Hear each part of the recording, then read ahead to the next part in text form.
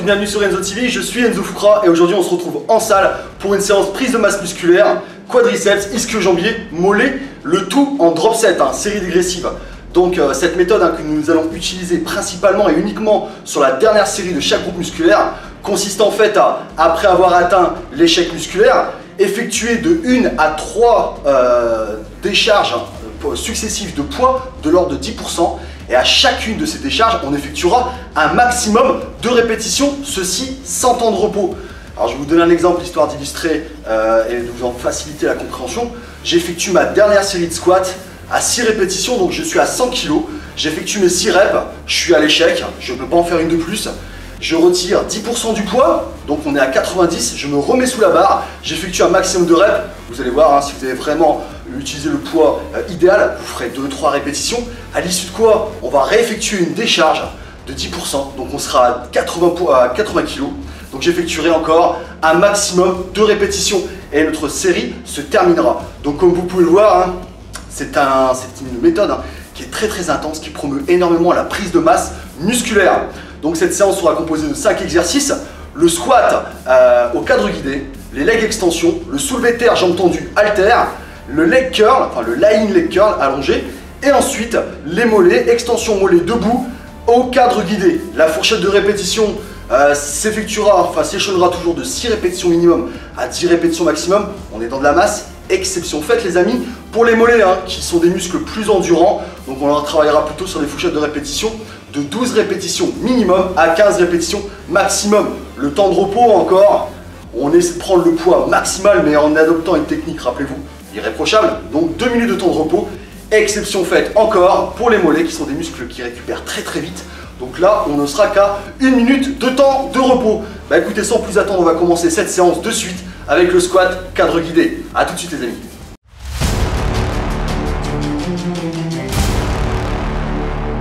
Ce premier exercice, euh, j'ai choisi le squat euh, cadre guidé ou à Smith Machine.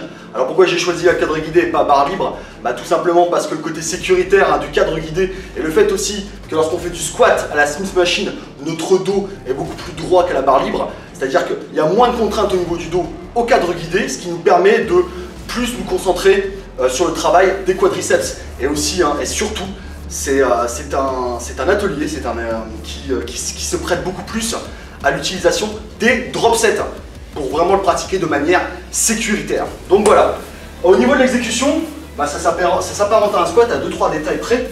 Donc on va se mettre sous la barre. Encore une fois, hein, la barre repose sur les trapèzes, hein, non pas sur la nuque, sur les trapèzes. Je vais saisir la barre pleine main, crocheter bien avec le pouce. D'accord? Au niveau des pieds, vous apercevrez au cadre guidé hein, qu'on ne peut contrairement au squat barre libre, on ne peut pas avoir les pieds à l'aplomb de la barre, hein, sinon vous allez avoir des difficultés pour effectuer une flexion. Les pieds vont décoller et vous allez vous faire mal au niveau de l'articulation du genou. Donc, ce qu'on va devoir faire, c'est légèrement avancer les pieds, de 30 cm à peu près des hanches. Les hanches, quant à elles, hein, ne seront pas en biais, les hanches seront vraiment à l'aplomb de la barre, à l'aplomb de vos épaules. Donc je saisis la barre, j'avance légèrement mes pieds. Je gagne bien au niveau des abdominaux, c'est hyper important. Au niveau du regard, on regarde droit devant soi. Si vous regardez vers le haut, vous allez accentuer d'autant plus la cambrure, ce qui peut être néfaste. A l'inverse, hein, si vous gardez le euh, si, vous optez pour un regard vers le bas, vous allez sans vous en rendre compte arrondir le dos, ce qui pour la colonne vertébrale est néfaste aussi. Donc on regarde, on a un regard droit devant soi, Je gagne bien au niveau des abdominaux, donc je vais décrocher la barre. Je gagne bien le regard devant. Et là, je vais effectuer une légère antération du bassin, c'est-à-dire que regardez, mon bassin va légèrement basculer vers l'arrière, mais légèrement, n'accentuez pas légèrement vers l'arrière, ça, ça, va vous apporter une légère cuvette, j'appelle ça la cuvette, au niveau des lombaires, ce qui va nous assurer de ne pas avoir de tension lorsqu'on va effectuer notre flexion.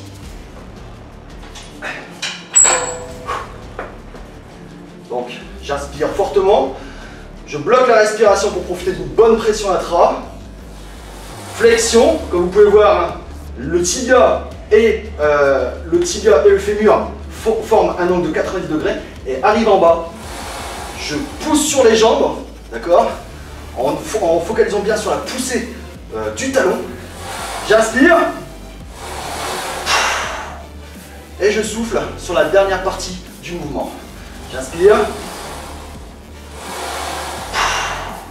Faites attention à pas de rebond en fin de mouvement et ne verrouillez pas trop brusquement hein, l'articulation du genou. Ça peut être dynamique mais contrôlé.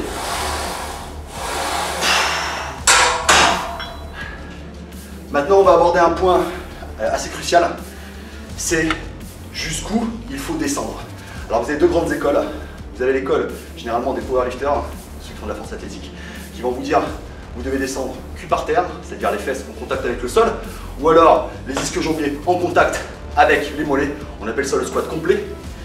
Et vous avez certaines personnes qui vont vous dire non, il faut descendre uniquement jusqu'à la parallèle. Et eh bien écoutez les amis, aujourd'hui moi je vais vous dire descendez jusqu'à la parallèle, ne descendez pas cul par terre, squat complet. Pourquoi? Bah, Je vais vous illustrer pourquoi les amis. Regardez bien ce qui se passe, vous allez regarder ce qui se passe au niveau de mon bassin lorsque je vais dépasser la ligne de genou, d'accord? La ligne des genoux, lorsque je vais descendre beaucoup plus bas, vous allez vous apercevoir que de cette position de, euh, cuvette, au niveau, au, niveau des lombaires, au niveau vertébral, vous allez vous apercevoir que mon bassin va basculer vers l'avant, ce qui fait que mon dos va s'arrondir.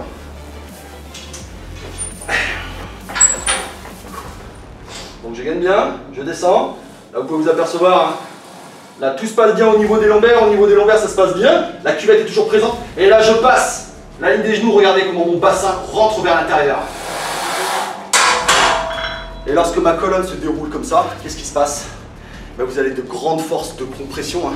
des, phénomènes de cisaillement qui vont intervenir au niveau des disques vertébraux, au niveau de la colonne vertébrale, aussi au niveau du matériel péridiscal, hein, c'est-à-dire le euh, le noyau euh, euh, des, disques intervertébraux, qui peuvent, à moyen long terme, amener à une hernie discale. Donc, encore une fois, les amis, descendez jusqu'à la ligne de genou, légèrement en dessous, hein, pour faire travailler un peu plus les disques jambiers, même s'ils ne sont pas hyper sollicités, mais restez vraiment jusqu'à, descendez vraiment uniquement jusqu'à la ligne de genou. Donc maintenant, je vais vous illustrer ce qu'est le drop set hein, sur votre série de squats. Donc, comme vous pouvez vous apercevoir, aujourd'hui j'ai mis le paquet. Donc, c'est ma dernière série, j'ai 6 répétitions à effectuer. Je me motive. Donc, je gagne bien au niveau des abdominaux, légère intégration du bassin. Je sors bien la poitrine, je suis fort au niveau du tronc. Hein. Je descends. Lorsque je souffle, lorsque j'expire, rentrez le ventre. Hein. Ça va ça va renforcer votre transverse, hein, ce muscle profond abdominal, hein, qui va également euh, favoriser une bonne rigidité, une bonne euh, stabilité au niveau des lombaires. J'inspire.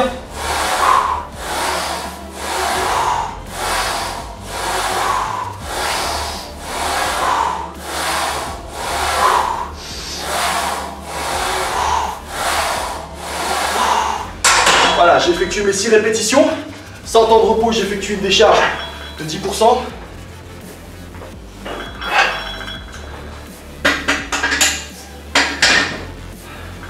Je me remets sous la barre.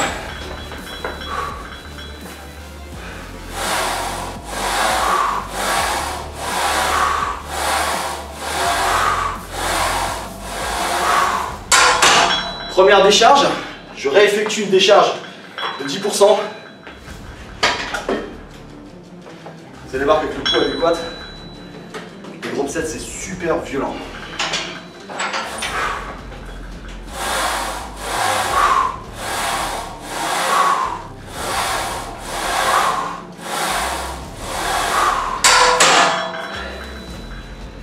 Voilà, mon drop set est terminé. Donc pour cet exercice, on effectuera 4 séries. Les trois premières séries classiques, hein, de 6 répétitions à 8 répétitions maximum. La dernière série, par contre, ça sera, on devra atteindre uniquement 6 répétitions à l'échec, plus 2 décharges en drop set, temps de repos, 2 minutes les amis. Bah écoutez, sans plus attendre, on passe au deuxième exercice, les legs extensions.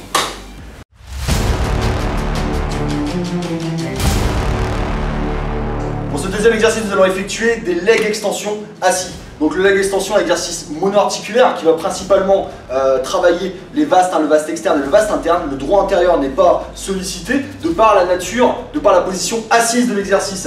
Donc le, positionnement est assez simple. Hein. Vous vous asseyez sur la machine, d'accord Vous passez vos jambes Sous les manchons, les manchons doivent être placés sur la partie basse euh, du tibia. En aucun cas, ils ne doivent reposer sur, le corps du pied, d'accord En fait, ça ne doit pas entraver votre flexion du pied. Hein. Donc veillez bien à ce que euh, le bord du banc soit bien appliqué dans, euh, imbriqué dans le popliteer, c'est-à-dire dans le creux du genou. On profite de l'appui dorsal. Vous avez des poignées sur les côtés. Saisissez-les, hein. ça va, lorsque vous allez devoir forcer, lorsque le poids sera assez conséquent, ça va vous éviter de décoller les fesses lorsque vous allez forcer. Donc je prends bien les poignets, ça me permet de bien stabiliser et d'avoir les fesses en constamment en contact avec le banc. Vous allez euh, garder les orteils orientés vers vous. Donc on va effectuer, j'inspire, et j'expire, j'effectue une extension en expirant encore une fois hein, sur le dernier tiers du mouvement. Vous veillez, à tendre la jambe complètement sans faire de rebond, sinon l'articulation du genou ne va pas aimer. Et deuxièmement, lorsque vous allez euh, effectuer votre extension, ne faites pas de verrouillage hein, trop brutal au niveau encore une fois du genou. Ça doit être dynamique, mais encore une fois, contrôlé. Donc l'extension se fait euh, de manière dynamique, hein, sur une seconde, en expirant sur le dernier tiers du mouvement. Et lorsque je reviens, revenez bien jusqu'à ce que votre tibia soit à 90 degrés. N'allez pas trop chercher euh, derrière. Euh, veillez vraiment à, régler votre banc de sorte à limiter hein, le retour. Sinon, vous allez trop étirer. Encore une fois, vous allez stresser l'articulation du genou. Donc je me positionne, je suis bien gainé au niveau des abdominaux, hein, toujours les amis, on regarde droit devant soi. J'inspire. Blocage.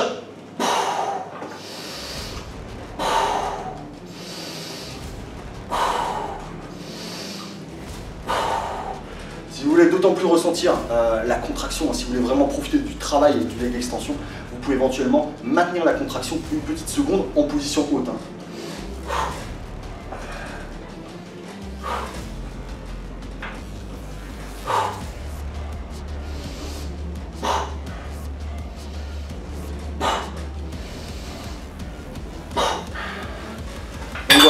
Fois pour cet exercice on effectuera 4 séries. Hein les, les trois premières euh, de 6 à 8 répétitions de manière classique. La dernière en drop set, hein, donc 6 répétitions, vous devez atteindre l'échec à 6 répétitions et ensuite vous effectuerez deux décharges successives de 10% du poids total. Allez, on passe directement aux ischio-jambiers, à tout de suite.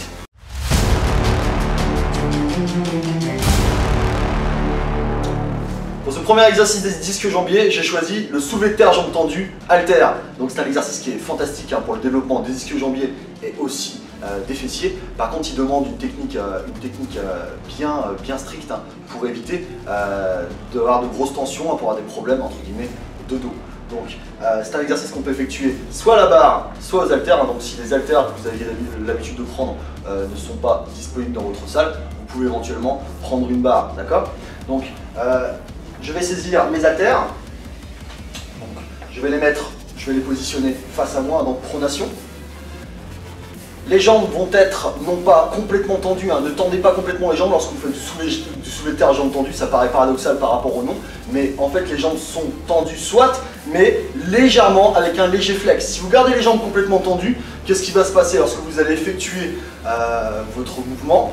Vous allez mettre vos, euh, vos, euh, ischio-jambiers dans une situation assez précaire hein, qui risque d'amener éventuellement à une déchirure. Donc gardez bien soit les jambes tendues, mais un léger flex, légèrement, légèrement fléchi. D'accord? Donc je garde le dos droit pour, euh, faciliter la technique de cet exercice. Hein, on va garder les épaules en position arrière, ce qui va nous faciliter eh ben, le fait de maintenir le dos droit. Car effectivement, les amis, vous l'aurez bien compris, je vais vous montrer ce qu'il ne faut pas faire. Voilà ce qu'il ne faut pas faire. Voilà. Pas de dos arrondi, pas de jambes tendues, sinon bah, déjà ça m'a un peu tiré au niveau des ischios. Ce qu'on va devoir faire, c'est une légère antéversion du bassin, d'accord? Légère, hein. les épaules en position arrière, on gagne bien au niveau des abdominaux. Et là, en fléchissant légèrement les genoux, je vais faire une bascule de 90 degrés en maintenant le dos droit, d'accord? Certaines personnes sont plus souples que d'autres. Euh, moi, je suis comme un paquet de biscottes, donc à 90 degrés, je sens déjà euh, les ischios sous tension. D'autres personnes sont beaucoup plus souples, donc euh, ben, en gardant le dos droit, elles arriveront à poser les haltères euh, au sol. À ces personnes-là, si vous avez besoin d'un étirement légèrement supérieur, vous pouvez éventuellement prendre un step, vous mettre sur un step, hein, ou alors mettre un peu plus de poids. D'accord? Donc, je gagne bien au niveau des abdominaux, les haltères sont devant moi, les épaules en position arrière, je vais effectuer une légère antéversion du bassin, les jambes légèrement fléchies. Et là, j'effectue une flexion du buste à 90 degrés. J'inspire, je bloque, j'expire.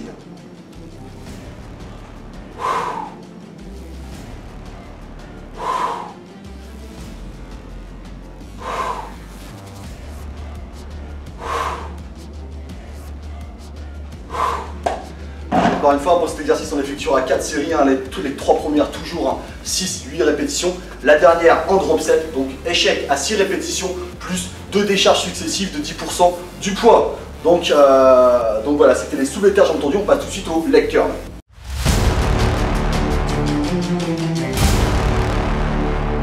En deuxième exercice, pour les ischios jambiers, on va effectuer du lying leg curl. Hein, donc c'est une machine, encore une fois, qui au niveau technique est assez simple. Hein. Au niveau du positionnement, euh, vous, allez, euh, vous allez faire en sorte hein, que la rotule soit vraiment à fleur du banc. En aucun cas, la rotule doit être sur le banc ou au-dessus du banc. Donc la rotule est vraiment libre, là sous le banc.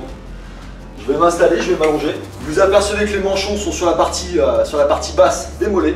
Au niveau du positionnement des orteils, enfin des, pieds, si vous optez euh, pour les pieds en flexion dorsale, vous allez, euh, vous allez solliciter un peu plus, vous allez solliciter un peu plus les mollets, d'accord? Donc vous avez des poignées encore une fois hein, pour bien stabiliser le corps, pour éviter bah, involontairement bah, de lever le buste ou éventuellement de soulever les fessiers lorsque ça va devenir compliqué. Donc je prends les poignets, hein, je m'assure d'être bien stable. Et là je vais effectuer en gardant la tête dans l'alignement de la colonne vertébrale, en aucun cas on regarde droit devant soi. On garde la tête dans l'alignement de la colonne vertébrale. Je vais remonter le dispositif jusqu'au fessier. Je contracte fortement, une seconde, et je redescends en contrôlant sur deux secondes. J'expire sur le dernier tiers, sur le dernier tiers du mouvement. J'inspire, je bloque la respiration, j'expire.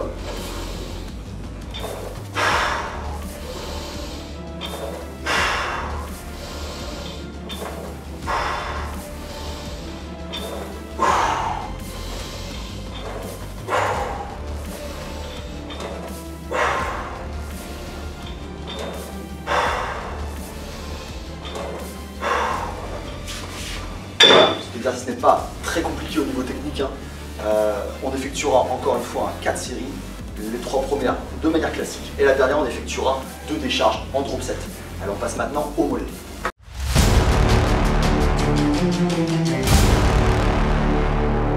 En exercice pour les mollets, on va effectuer des extensions debout au cadre guidé. Donc l'avantage de cet exercice, c'est qu'il est beaucoup plus complet hein, euh, que par exemple euh, des extensions à la machine assis. Euh, cet exercice à machine assis sollicite plus les solaires, alors que les extensions debout, cadre guidé, travaillent plus les jumeaux. Donc c'est un travail qui est un peu plus, euh, euh, complet. Donc au niveau du placement, encore une fois, on, va, on va se mettre sous la barre, la barre va reposer sur les trapèzes, comme vous pouvez voir, on va mettre un petit, moi j'ai mis un petit step, le tout c'est d'avoir un support hein, qui vous permet d'être en élévation pour profiter non seulement pour profiter d'un bon étirement lorsque les talons vont descendre, d'accord? Voilà pourquoi il n'est pas possible de le, faire, de le faire au sol. Parce qu'effectivement, vous allez profiter d'une bonne extension. Par contre, vous n'allez pas avoir euh, euh, d'amplitude suffisante au niveau euh, de l'étirement. Donc prenez un petit, prenez un step. Ou alors éventuellement, vous pouvez prendre un disque. D'accord? Le tout, c'est de quand même avoir, de profiter d'un bon étirement mollets en phase négative du mouvement. Donc, je me place sous la barre. Le tiers supérieur, le tiers supérieur du pied hein, va reposer sur le step. Je place la barre sur mes trapèzes. Le corps est bien gainé. Je regarde droit devant moi. Cette fois-ci, hein, les, les, jambes vont être tendues. Je vais effectuer une élévation le plus haut possible en maintenant la contraction 2 à 3 secondes.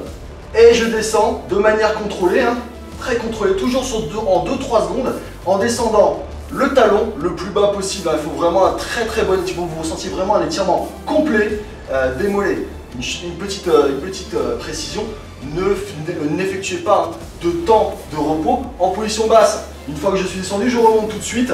Je contracte un maximum, je descends 2-3 secondes et je remonte.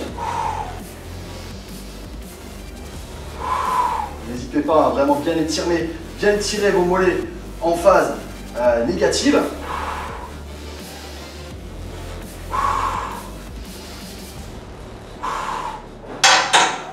Pouvez varier d'une série à l'autre hein, par rapport en fonction de la position de vos pieds. Hein. A la position aussi des jambes, il n'y a pas que les pieds, hein, il y a toute la jambe qui va aussi effectuer euh, ce changement de position. Euh, lorsque vous allez mettre les pieds vers l'intérieur, vous allez solliciter euh, plutôt la phase, la face externe des jumeaux. Lorsque vous allez mettre les pieds, par contre, vers l'extérieur, là vous allez plutôt développer, vous allez plutôt solliciter la phase, la, la portion interne. Donc, là, donc les pieds un petit peu en canard.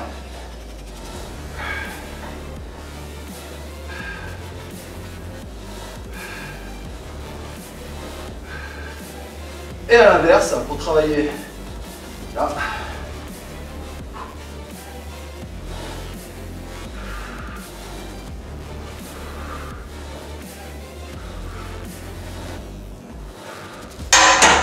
Donc encore une fois, hein, à, vous de, à vous de, vous pouvez éventuellement varier d'une série à l'autre, vous avez quatre séries. Alors pourquoi pas faire une série euh, en position euh, classique, hein, c'est-à-dire les pieds à la parallèle, une série, la deuxième série, euh, pieds convergents, et la troisième série, pieds divergents. Quatrième série, hein, rappelez-vous, c'est toujours des drop sets. je l'avais dit en introduction, les mollets sont des muscles très très endurants. Donc cette fois-ci, on travaillera sur une fourchette de répétition de 12 à 15 répétitions. Le temps de repos, cette fois-ci, sera uniquement de 1 minute, car ces muscles récupèrent très très vite. Et eh bien écoutez les amis, c'est avec cet exercice que se termine notre séance prise de masse en drop set. J'espère qu'elle vous a plu. Si c'est le cas, n'hésitez pas, à abonnez-vous à la chaîne. J'espère que vous allez tester cette séance. Euh, n'hésitez pas également à donner vos ressentis hein, sur, euh, sur, la, sur la page de la vidéo en commentaire.